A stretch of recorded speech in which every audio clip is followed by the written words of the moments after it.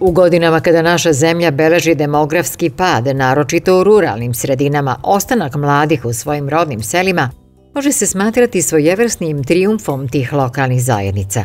Selo Trešnjevica, koje je četvrto po veličini u Arilskoj opštini, za sada ne beleži negativan trend kad je reč o broju stanovnika, a tamošnji domaćini uspevaju da motivišu svoje naslednike da nastave tradicionalne višedecenijske proizvodnje – To je pošlo za rukom i Mladenu Pantoviću, koji je ljubav prema proizvodnji malina preneo i na svog 19-godišnjeg sina Marka.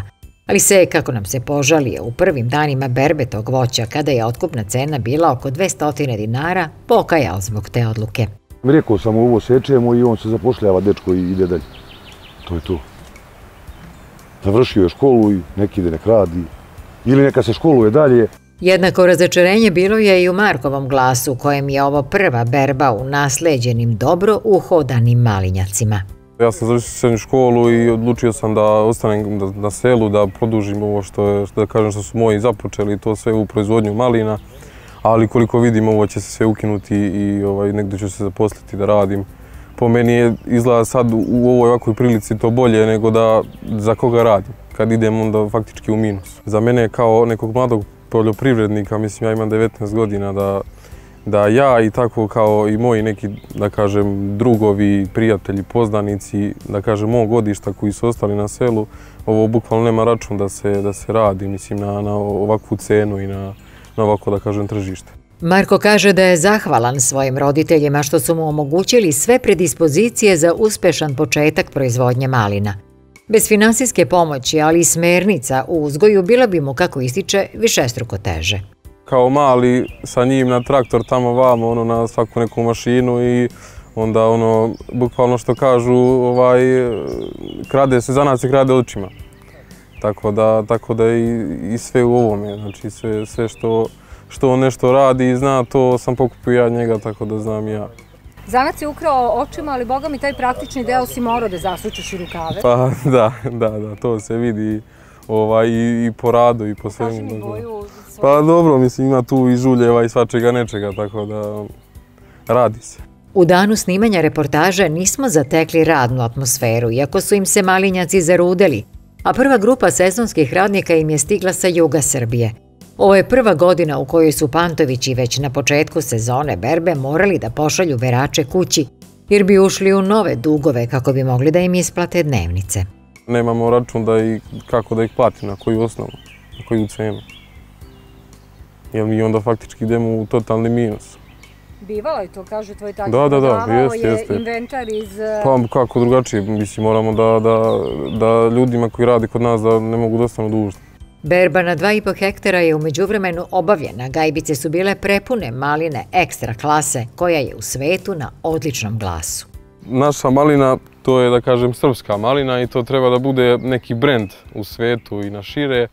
Ova malina se koristi i u medicinske svrhe, znači od nje ljudi prave, prave i da kažem i lekove za, za spašavanje nekih života i može i u za kako se zove i za, za sokove, za da kažem za pravljanje nekih kolača i svačega nečega. Malina se koristi u baš dosta nekih svrha, ali ova naša srpska malina ne može, ne može da se poredi kvalitet sa nekom drugom tamo malinom. Znači mi moramo stvariti neki brend. A da bi se proizveo taj srpski brend, potrebno je mnogo truda, znoja i ulaganja. Osim drastično skupljih inputa, proizvođači to kraja već godinama muku muče i sa nepristupačnim atarskim putevima, požalio nam se Marko. Zbog sad ovih preobilnih padavina, ovaj, kako se zove, zbog svega, znači voda se razlila i putevi su užasni, mislim, i onda mi to sve, da kažem, moramo popravljamo ručno i na neku svoju, neku svoju snalažljivost. Kišoviti prolećni dani zadali su velike glavobolje ariljskim malinarima, ali na svu sreću, crveno zlato u tom kraju je bogato rodilo. Početni elan i entuzijazam proizvođača splasnuo je nakon što su hladnjačari objavili otkupne cene, koje su se u zavisnosti od toga da li je reč o prvoj, drugoj ili trećoj klasi, kretele od 80 do 240 dinara. Najvišu cenu ponudila je najveća hladnjača u zapadnoj Srbiji, a budući da je ostali otkupljivači nisu sledili, Revolt i bes su bili dominantni osjećaj u redovima malinara u jeku berbe. Iako su se u više navrata okupili na zborovima i protestnim vožnjama, nisu želeli da radikalizuju proteste. Smatram da, da protesti nisu način da bi došli do cene. Mislim, trebalo bi da se ljudi dogovore, to bi po meni bilo najbolje.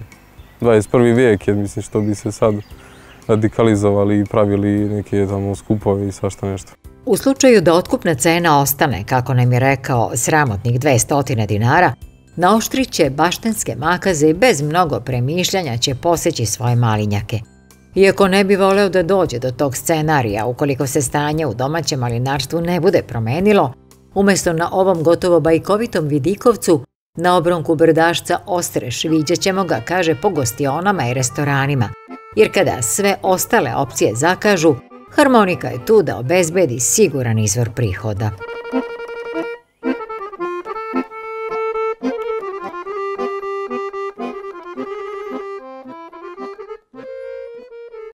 Domaćin će svaki znati, dobar savjet se isplati. Sa novog portala Vreba, savjeti sa agroneba. Posjetite ovog trena i nestaće ta dilema.